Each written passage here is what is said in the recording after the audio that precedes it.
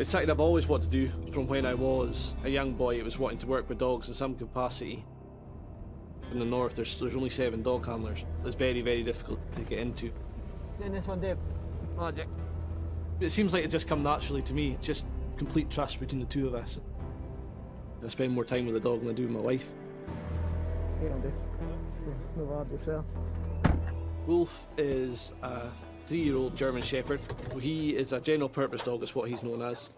Hey, hey, hey, hey. You're all right. I'm the smallest handler. We're the, the biggest dog we've ever had, so he's about 45 kilos. Uh, so he's, he's a big beast. He tracks people that have made off from crime scenes, cars, etc., missing people. Can search areas where, if it's been a wee bit longer, so he's not able to track, he will then use the air scent to search wooded areas, in the hills, wherever.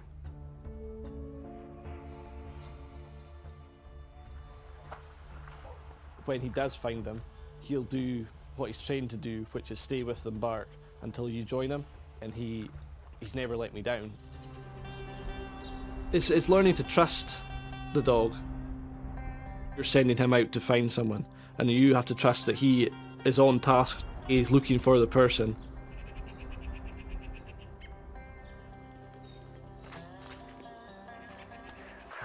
You want to find that person. I want to help people. That's why I joined the police, and that's why we train as hard as we do with the dogs, so we are efficient, and we will find them.